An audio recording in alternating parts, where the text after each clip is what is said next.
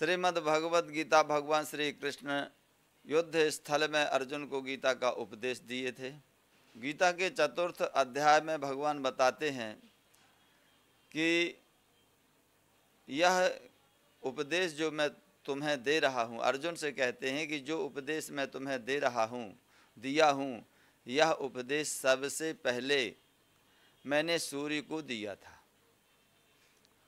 अर्थात तो कर्मयोग की चर्चा चल रही है। तृतीय अध्याय संपूर्ण करयोग, कर्मयोग के विषय का है। और चतुर्थ अध्याय कर्मयोग की जानकारी है। तृतीय अध्याय में करयोग कर्मयोग को आचरण में उतारने की विधि और आचरण में उतारने की महिमा बताई है।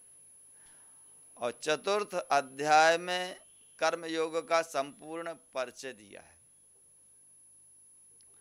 तो भगवान अर्जुन से कहते हैं कि यह योग मैंने सबसे पहले सूर्य को दिया और सूर्य ने अपने पुत्र विवस्वान मनु को दिया। मनु ने अपने पुत्र इक्षांकु को दिया। इस प्रकार यह राज परंपरागत योग चला आ रहा है। तो अब दूसरे श्लोक में भगवान कहते हैं, चतुर्थ अध्याय के द्वितीय श्लोक में भगवान कहते हैं, एवं परंपरा प्राप्त में मम राजर्षयो विदो। सा काले नेह महता योग नष्ट परम तप। भगवान कहते हैं अर्जुन से कि यह परंपरागत योग चला है और चला आ रहा था। कुछ काल के समय यह नष्ट प्राय सा हो गया। तो वही मैं तुमसे तुम्हें दिया। तुम भी इसे आचरण में उतार करके और इस योग का पालन करो। भगवान ने सूर्य को और सूर्य ने महाराज विवस्वात मनु को और विवस्वात मनु ने इक्षांक को दिया। अर्थात राज परंपरागत यह योग चला आया और राजाओं ने इसका भली भांति परिपालन करके और अनेक सिद्धियाँ प्राप्त करके प्रजा का हित किए। अनेक बार राजाओं ने अपनी प्रजा को भी इस योग का परिपालन कराया। अर्थात प्रारंभ में जब योग भगवान श्री कृष्ण ने सूर्य को दिया, सूर्य ने वैवस्वत मनु को, इक्षांकु को दिया तो यह राज परंपरागत योग चलता आया। राजाओं ने ग्रहण किया, राजाओं ने अपने प्रजाओं को भी इसका परिपालन कराया। अर्थात यह योग, दिव्य योग राजा राजाओं का तो है ही, साथ ही समाज, नगर, देश के जो मुखिया हैं, जो समाज का मुखिया है, परिवार का मुखिया है, नगर का मुखिया है, इन्हें भी इस योग की विद्या आनी चाहिए। प्रारंभ में प्राचीन काल में राजाओं ने अपने ओर से सभी को इस विद्या का अभ्यास कराया। तो यह विद्या परंपरागत क्षत्रिय राजाओं के पास गुप्त रूप से रही। क्षत्रिय राजाओं ने इस योग का आचरण करके और इस योग का परिपालन करके प्रजा का परिपालन करते थे। किसी भी प्रकार से उन्हें किसी विशेष आपत्ति या कष्ट या अतिवृष्टि, अनावृष्टि का सामना न करना पड़े। इसलिए से सचेत रहते थे राजा लोग। रघुवंश में महाराज कालिदास जी कहते हैं कि प्रजा नामे भूत्यर्थम साताभ्यो ग्रहेत् सहस्रगुणमुत्सृष्टो मा रसम रवि। कालिदास जी महाराज ने रघुवंश में कहा है, प्राचीन काल में सूर्यवंशी जो राजा थे, सूर्यवंशी राजा प्रजा से इतना कर लेते थे, जैसा कि सूर्य पृथ्वी का जल शोषित करके और पुनः दस गुना करके अर्थात जितना सूर्य के द्वारा जल शोषित होता था उससे कई गुना बढ़ा करके और पृथ्वी में वह जल प्रजा के लिए उपलब्ध करा देते थे वर्षा के रूप में। वैसे ही रा, क्षत्रिय राजा सूर्य वंश के क्षत्रिय राजा प्रजा से कर लेते थे और वह कर प्रजा के हित के लिए प्रजा के कार्यों के लिए उन्हें समर्पित कर देते। कई गुना करके उतना ही नहीं उसका कई गुना करके प्रजा के हित में लगा देते थे। अर्थात राज्य में प्रजा के द्वारा जो राजाओं को कर मिलता था उस वो तो अप, अपने प्रजा में लगाते ही थे प्रजा की भलाई के लिए लगाते ही थे। अपने पास से भी कुछ मिला करके और प्रजा के हित में, जैसे जहाँ जो कुछ का अभाव है, जल का अभाव, शिक्षा का अभाव, स्वास्थ्य का अभाव, ऐसे कार्यों में राजा लोग उस प्रजा से लिए हुए धन को लगा देते थे। यज्ञों में भी लगाते थे। यज्ञ आदि कार्य करना है, सत्कर्म प्रजा के लिए करना है विश्व कल्याण के लिए करना है, ऐसे कार्यों में उस धन को लगा देते थे। राजा लोग अपने परिवार के परिपालन के लिए अलग से खेती, व्यापार, ईमानदारी से वो करते थे। कृषि भी करते थे।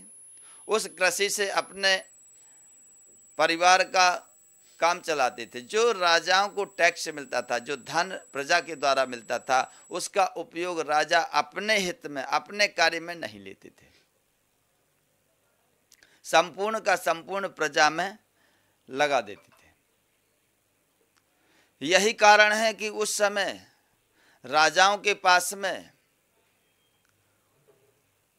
कर्मयोग का भली भांति परिपालन करने के कारण एक अलौकिक ज्ञान और भक्ति उन्हें स्वतः प्राप्त होती थी।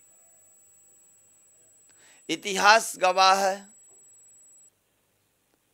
राजा जनक जी के यहाँ अनेक ऋषि मुनि शिक्षा ग्रहण करने जाते थे, ज्ञान ग्रहण करने जाते थे। ब्रह्म विद्या का बोध करने जाते थे। आत्म तत्व का बोध करने जाते थे। अनेक प्रकार की शिक्षाएँ राजाओं से उपलब्ध कराते थे। ऋषि मुनि लोग। क्योंकि जो योग की शिक्षा थी, वह राजाओं के पास थी। जो योग विद्या थी, वह राजाओं के पास थी। राजा लोग ऋषियों के पास में योग विद्या सीखने नहीं जाते थे। ऋषि लोग, महात्मा लोग, संत लोग राजाओं के पास में शिक्षा ग्रहण करने जाते थे। योग सीखने जाते थे, ब्रह्म विद्या सीखने जाते थे। महाराज अश्वपति की समय में एक साथ छह ऋषि ब्रह्म विद्या का ज्ञान ग्रहण करने के लिए गए थे और ब्रह्म विद्या का ज्ञान ग्रहण किए महाराज अश्वपति से। उस समय महाराज अश्वपति के जो वचन हैं, जो मनन करने योग्य हैं क्या वचन है? आइए। नमेस्तेनो जनपदे न कतर्यो न मद्यपाः नाना हिताग्निर्ना विद्वान् न स्वैरी स्वैरिणी कुताः। नमेस्तेनो जनपदे न कदर्प्यो न मद्यपाः राजा अश्वपति के वचन है जी। नमेस्तेनो जनपदे, अर्थात हमारी प्रजा के अंतर्गत कोई चोर नहीं है। नस्तेनो ना कोई चोर नहीं है, न कदर्पो, न कोई कृपण है, न मद्यपाह, न कोई मद्यपान, मदिरा का पान करने वाला है। अर्थात हमारी राज्य में ना तो कोई चोर है, ना कोई कृपण है और ना कोई मदरादि का पान करने वाला शराबी इत्यादि कोई नहीं नशेड़ी, गंजेड़ी कोई नहीं है। नाना हिताग्निर ना विद्वान। स्वरी नाना हिताग्निर्विद्वान स्वरी स्वरिणी कृता, नाना हिताग्नि अर्थात अपने हित के लिए किसी प्रकार का जो व्यभिचार कर्म होता है देवी देवताओं के द्वारा मारण मारण उच्चाटन इत्यादि जो क्रियाएँ होती हैं, व्यभिचार क्रियाएँ कहते हैं, इन्हें ऐसी क्रिया करने वाला भी हमारे राज्य में कोई नहीं है। महाराज अश्वपति का वचन। ना ना हिताग्निर, ना विद्वान, अर्थात आना विद्वान अर्थात अविद्वान मन मूर्ख, अविद्वान भी कोई नहीं है।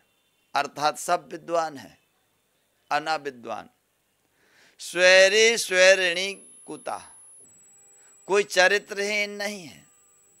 स्वैरी, मान लो कोई चरित्रहीन नहीं है और जब चरित्रहीन कोई नहीं है तो उल्टा स्त्रियाँ का तो होना स्वाभाविक ही सवाल ही नहीं है कि उपस्थित ऐसी जगह रह सकती है।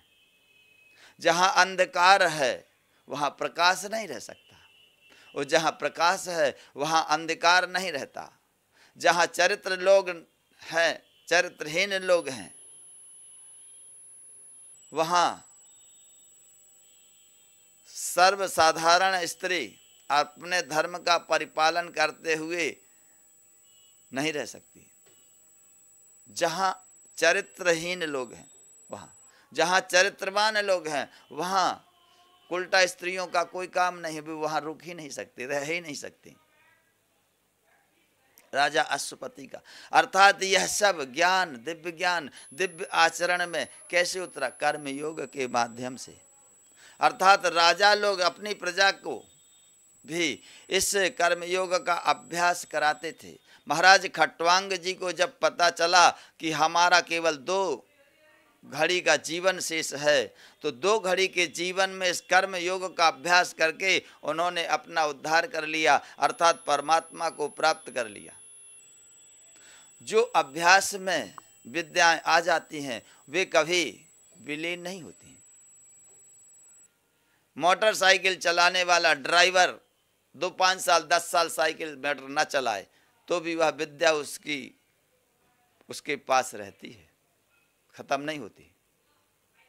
इसी प्रकार राजा लोग अभ्यास करते थे, अभ्यास करके जब चाहते थे समझ लेते थे कि तो उसमें स्थित, परमात्मा में स्थित हो जाते थे, क्योंकि अभ्यास है। तो यह कर्म योग की विद्या प्रत्येक व्यक्ति को जाननी चाहिए और इसका अभ्यास भी करना चाहिए।